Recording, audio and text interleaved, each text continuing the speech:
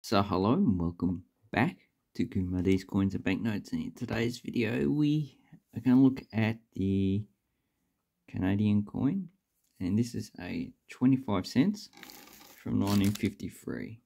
So this one is in high grade but there are two varieties in which you can look out for. So these are not errors because they, they are deliberately made. So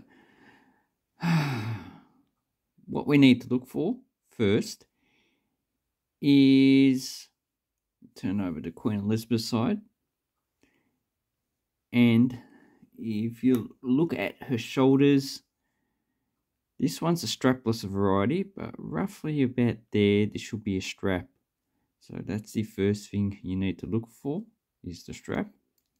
Next thing you need to look for is the lettering. So sharifs are points that come out of the actual letters. And if we zoom in, hopefully it's not, oh, it's not that good.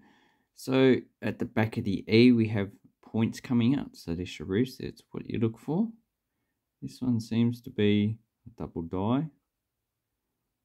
Hmm. So we've got lots of errors on these. Lots of cuds. So this is also an error coin. Uh, we have sharifs on the eye which is the most uh, prominent place to look for them.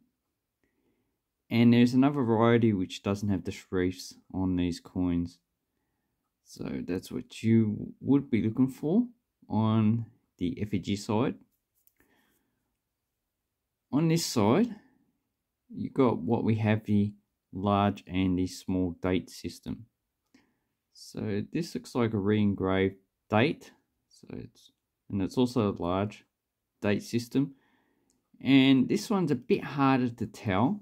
So you need to actually go to a website. But the only way I can tell is that on, so this is a large date. And the 9 is quite a fair way from the actual moose's point. If you get a small date, the 9 is almost touching but it's a bit hard to tell. So you need two coins to compare uh, to find out what we're actually looking for. And yeah, the 5 does look like it's re-engraved. So I only purchased this one for a few dollars, but it's uh, probably going to sell for at least 20 to 30 dollars, which I'm happy with.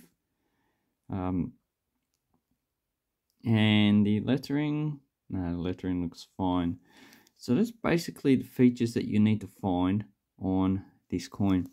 So you're looking at the small and large date. This one's a large date.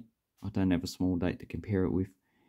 And you're also looking for the sharifs on the lettering as well as the uh, little little uh, strap on coin Elizabeth II. So the mintage coin for this is 10 million, about 10 and a half million. And based on Numista, they're about 50-50 between the large and small dates. And this one's also a bit damaged on the head. But it's a quite a nice coin. Shouldn't be too hard to get in high grade. This one's probably extremely fine. It's better than very fine it's probably too good for an almost uncirculated coin but it does have a lot of errors on it as well. A lot of uh, re-engraving of the actual lettering and the date. So I hope this helped you with your Canadian coins. Uh, now in uncirculated condition just a normal one sells for about 10 to 20 dollars. But if you've got small errors like this obviously it's going to increase the value by quite a bit. Anyway Thank you and have an awesome coin and banknote collecting time.